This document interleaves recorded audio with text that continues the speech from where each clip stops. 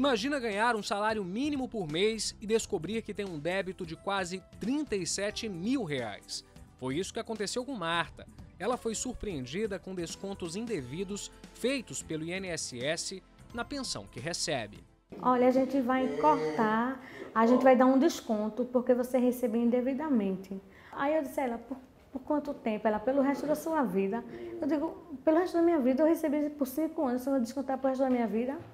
Aí eu aceitei também, né? Mas quando eu fui ver um desconto de mais de 200 reais, eu fiquei tirando por mês 516 reais e ela descontando 200 e alguma coisa. Aí eu foi quando eu tive que procurar ajuda na defensoria. Com um filho autista e as contas apertadas, a viúva só conseguiu uma solução depois de uma decisão da Justiça Federal.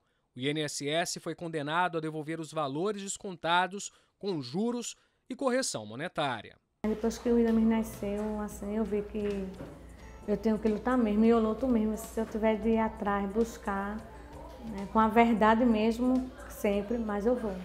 Já no caso da Ana Carla, o problema foi outro. Ela deu entrada em um benefício de prestação continuada, o BPC, para a filha que nasceu com microcefalia mas acabou tendo o pedido negado pelo Instituto Previdenciário. E por que não a minha filha também, que é portadora de deficiência, porque ela não tem o direito?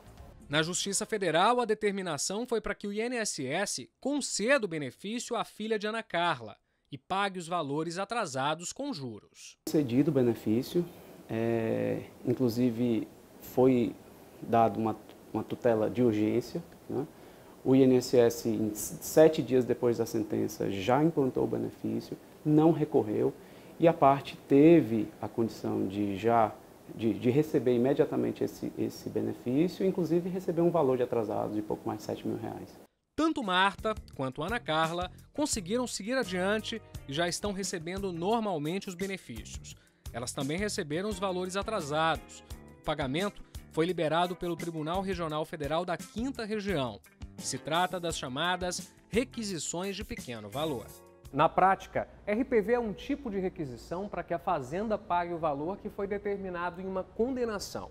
Isso acontece quando a quantia não ultrapassa 60 salários mínimos. São débitos judiciais, são valores devidos pela fazenda pública, né, através das suas autarquias e fundações. Então esse valor é repassado pela Secretaria do Tesouro Nacional via Conselho da Justiça para que os tribunais possam realizar esse pagamento. De acordo com o chefe do setor de precatórios do TRF5, o repasse gera um impacto imediato na economia e cerca de 25 mil pessoas por mês são beneficiadas na quinta região. O ano passado nós realizamos um pagamento de em torno de 1 bilhão e meio de reais em requisições de pequeno valor. Para este ano, há uma estimativa que esse valor chegue a 1,8 bi.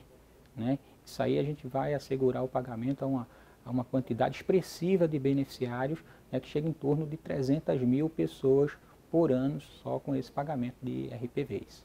Para saber se o pagamento da sua RPV está liberado, é só acessar o site do Tribunal Regional Federal da Quinta Região. E não se esqueça de acompanhar as notícias do TRF5 nas redes sociais. Até o próximo vídeo.